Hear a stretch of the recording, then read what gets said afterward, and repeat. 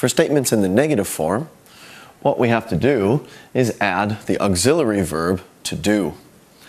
For subjects I, you, we, and they, we simply leave do as do, use the word not, and keep the base form of the verb now for the negative statements. However, for he, she, and it, we have to conjugate our auxiliary verb into does.